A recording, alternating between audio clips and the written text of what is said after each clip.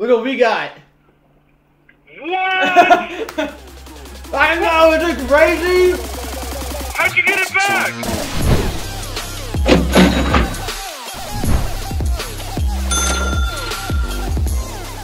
The original plan was we were gonna make this painting famous by using it in a viral video where we steal a painting from an art museum. At first we were gonna like fake steal the painting, and now we like actually stole the painting from Yeah. them. Now that Michael has all this gold spyglass footage of him taking it, we thought maybe we could still do the YouTube video, but instead of us stealing just our ordinary painting from the museum, what if we framed it to make it seem like we stole a Banksy painting from the museum, which would probably get way more press, and it's just so much more likely that someone would buy this painting from us. So Ben had the genius idea of just using a bunch of fake footage and editing it all together. So it showcases that it was Ben's idea that he pitched to me to steal the Banksy painting. It was all made up. We just made, Yeah. we made up our entire origin story. I went and I wrote a fake script.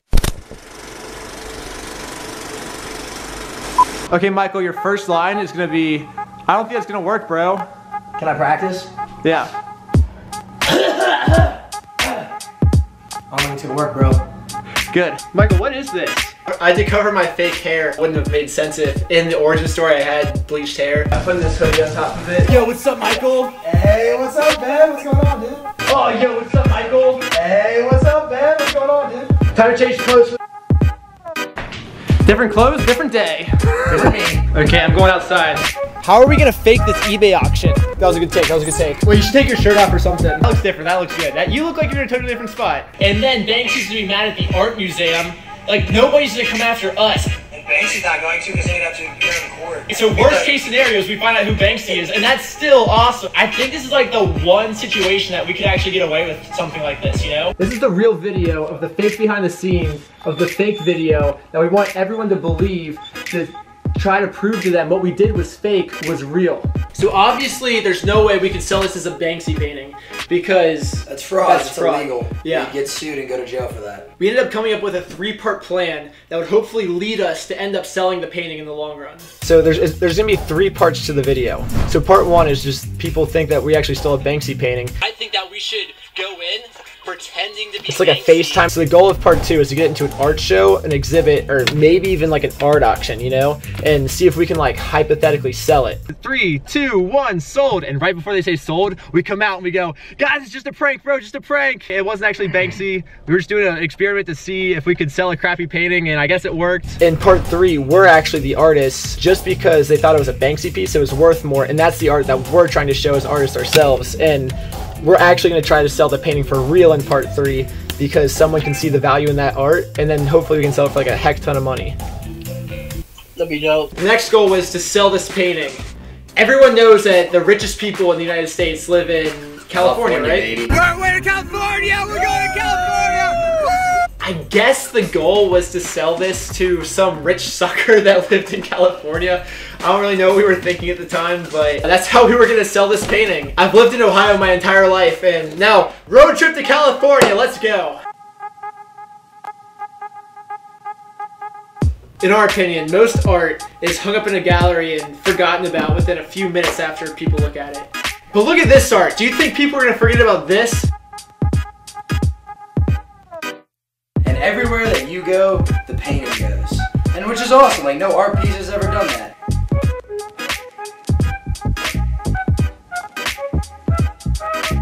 So my whole thing is that art is made to be enjoyed. And how can you really enjoy it if it's hanging up in an art gallery and you're only gonna see it for a couple of seconds and forget about it? I really don't think that's what art's about. And that's why with art painting, people are gonna remember our painting. We're doing things with our art that no one would ever do with an expensive painting. But at the end of the day, that's what art's really all about, right?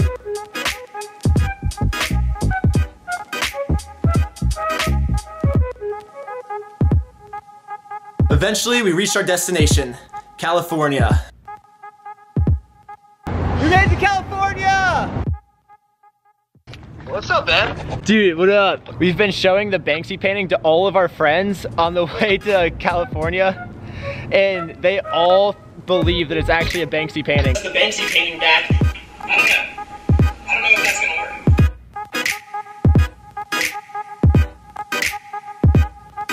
Every Every single person we showed our fake story to freaking believed it, and they thought it was crazy. It's the most reckless thing I've ever seen anybody do in my life. That's insane. Can I be in your next heist? Dude, can we go see that? You're coming covering the JK. Oh yeah. Oh, my god, dude. Oh my god. Bro,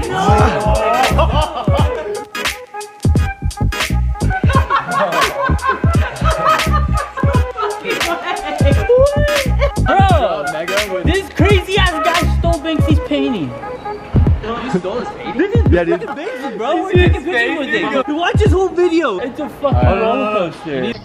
I can't believe they all believe it. I'll have to go along with the, the joke. 'cause I don't want to ruin it, so. Yeah, you you totally dude, we, we started something too big. Like we can't we can't go back now.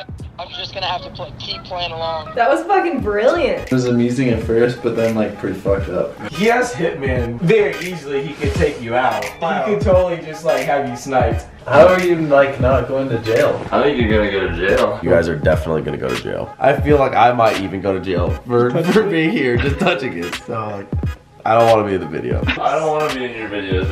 I'm pleading ignorance. I never saw the video. Justin, we're witnesses now. I, I feel weird about it. The reality is this is a totally uninsured object with that was abandoned by its owner and like hung in a public place and they gave it to you. It's no different than like a pair of glasses, dude. Like honestly, it's valueless. Okay, so this is how I think about it. I typed in, what is the purpose of art? Basically, Google says the purpose of art is to make someone feel some type of emotion.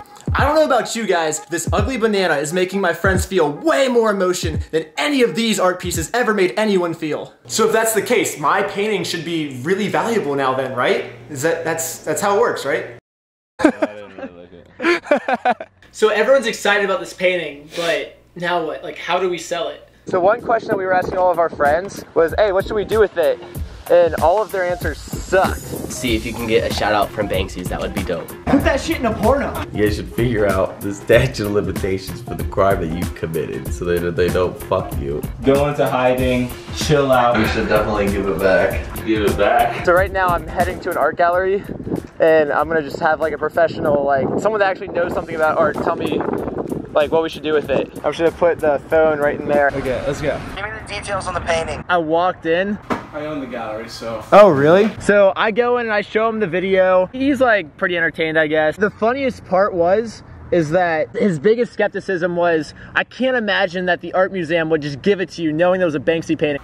I can't imagine that the museum would have thought that they had a Banksy and then given it away. But the funniest thing is like like that really did happen. Like that is that part actually happened. That doesn't look like most of the paintings I see him do. And it's not signed and it's not authenticated in terms of anyone being able to say that's a Banksy. So in terms of you being able to sell it, even if it was a Banksy, you got a couple problems. We might be screwed, dude. These art people take their things way more serious than I Dude, thought. I know, dude. So that art gallery didn't work, and now we're kind of just living out of our car, not knowing what to do. This is our house. We weren't about to give up though. We kept going to other art museums and we just kind of walked in with this painting in my laptop, showed them the video, and hoped they bought it. After this speech, we're gonna talk to the main guy. See if we can figure this um, out. Dude, fail. The guy said no. This is definitely harder than I thought it was gonna be. But that was the life. Getting rejected from art museums and just trying to stay alive with the little bit of money we had. Here's how you eat like Reckless Ben in California. You got a can of tuna, you get all the juice, you gotta lick off the lid. We can't waste anything. This is gonna be our plate. Put the tuna on the bread. Mmm, five star meal. We tried to go to one art gallery every single day and we just kept getting the same response every time, which was uh, no. Me and my friend just like acquired this painting and we're trying to like kind of see how much it's worth. Who's the artist? Think it might be Banksy. Like we're pretty sure. We were hopeful because if we go to every single art gallery in LA, one of them is bound to show our art painting, right? Basically, they said our painting is so valueless, they wouldn't even appraise it for us. I'll give you 10 bucks for it. You're our highest bid so far. After being in California for about a month, I finally found a YouTube prankster who said he wanted to meet up. His name was The Magic Crasher, and he had over 100,000 followers on YouTube, so it was a pretty big deal that we were gonna get to hang out with this guy. We hung out with the Magic Crasher today. We had to show him our video. Dude, so there's no way that they're gonna be able to prove that we're not Banksy because nobody knows who freaking Banksy is, dude. He was like in complete disbelief. Look at that face.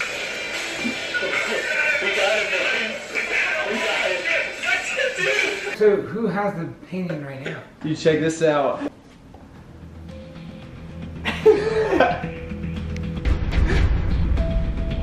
That's it. That's dude. No.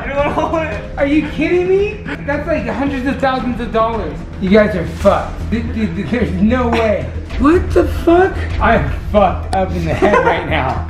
I am fucked up in the head. What the fuck did I just walk into? Holy shit. This can't be real. I see the proof, but I'm just sitting here in awe. You guys are fucked. So I see this ending two ways. One, you're going to jail. Two, you're gonna go viral. Message to Michael. The only person who's fucked with this is you, bro. That's it. I ran everything through my head and you're fucked. You're, yeah. It was a successful night. We now have an influencer that was super impressed by what we did. Good night, Rodney. Eventually got to the point where we contacted every single art gallery in LA and none of them wanted anything to do with our painting. We have an FBI investigation on us right now. That's awesome. It was sad because that was the whole reason we moved to LA, but at least I figured out why. The entire time we were promoting this piece as a protest against modern art, so oh, of course no modern art gallery was gonna wanna show our painting. Eventually I did find this art gallery called Hive Art that was a graffiti art place and I emailed them asking if they wanted to show a Banksy painting in their art exhibit. He ended up getting back to me saying he was psyched to show the piece. My spy glasses ended up dying so I couldn't record anything that went inside. I just went to that art gallery in downtown LA, dude. I wasn't able to record it because the spy glasses broke. Basically, dude, the guy was psyched. I showed him the video. He loved the video. He thought it was hilarious. He said he's like 100% down to show the the painting in his next art show. The only problem, his next art show doesn't start until August 3rd. So that's like a month and a half. So in a month we post it, and then we have two weeks to make it go big before this art show. Okay? All right, there we go. We got a timeline. Dude,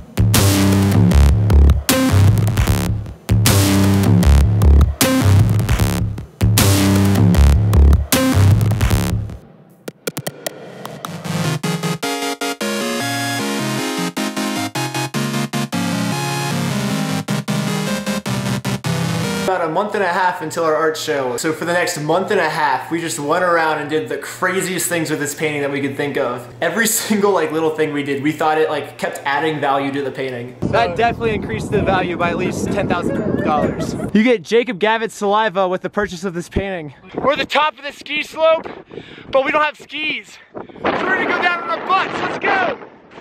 Whoa! Whoa! Whoa! Oh my gosh! I'm you! Ah! Banksy safe! That hurt my butt so bad! Every time we did something with this painting, it had to keep getting crazier and crazier and crazier until eventually it kind of got to the point where what we were doing was just like stupid and dangerous. Oh shit. Yeah! What? Careful! Woo! Let's go, Banksy! Look how far down this is. Don't fall in that hole, Ben. You made it! Hey, you didn't fall.